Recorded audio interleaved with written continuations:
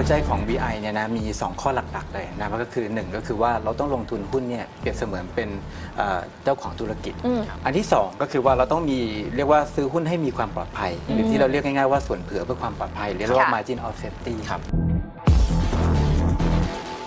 สิ่งที่สำคัญที่สุดเนี่ยนะครับก็คือในการลงทุนแบบ VI เนี่ยนะครับ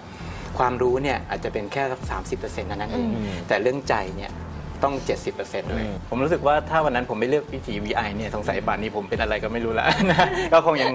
สนุกสนานกับการดูกราฟกับขึ้นหัวใจผิดอยู่ดี